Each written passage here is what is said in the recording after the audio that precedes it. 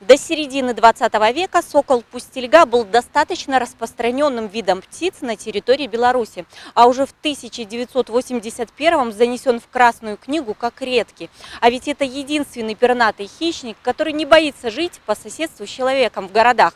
И в этом смысле наш город не исключение. Еще в 2010 году впервые в Беларуси в нашем городе появился необычный природоохранный онлайн-проект, в ходе которого была организована прямая видеотрансляция из гнезда сокола-пустельги. Установленная веб-камера позволила десяткам тысяч зрителей из 142 стран наблюдать за семейными делами пернатых хищников. Сокола-пустельгу можно назвать э, таким негласным символом э, города Бреста, поскольку его э, здесь больше, чем в любом другом месте Беларуси.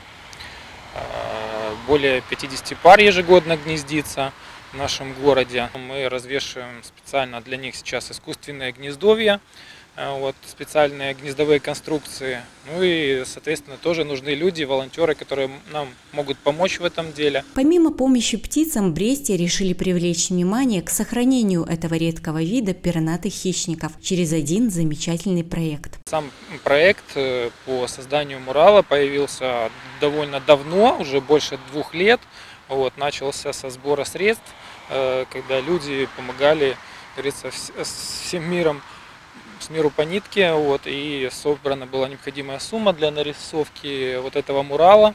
Вот, помогли некоторые организации, тоже наши местные, в том числе э, Стройтрест номер 8. Хочу благодарить руководство, э, начальника Кулинича Игоря Васильевича, еще 24 октября прохожие стали свидетелями того, как лучи проектора отразили огромную птицу на торце дома номер 30 по набережной Франциска Скорины. Именно в этот момент художник, минчанин Александр Благий начал первые наброски будущего масштабного изображения. Работа кропотливая, требующая сноровки и огромного опыта. Ведь процесс проходит на высоте. На весь мурал ушло порядка 80 баллонов аэрозольной краски, но результат порадовал и жителей дома, и самого художника. Наконец, счастье, что я приехал, сделал, потому что эскиз я делал да, полтора года назад.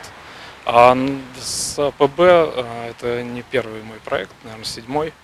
Я ездил по городам Беларуси, рисовал птиц, э, приуроченных к каждому какому-то определенному району.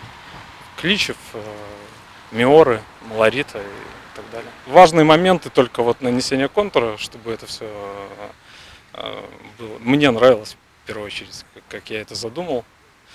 Вот. Ну, а остальное уже дело техники. Жильцы дома и прохожие, а улица Набережная весьма оживленная, поначалу пребывавшие в недоумении, увидев огромную птицу сокола пустельгу, были приятно удивлены. Вы знаете, совершенно по-другому смотрится вот эта стена дома.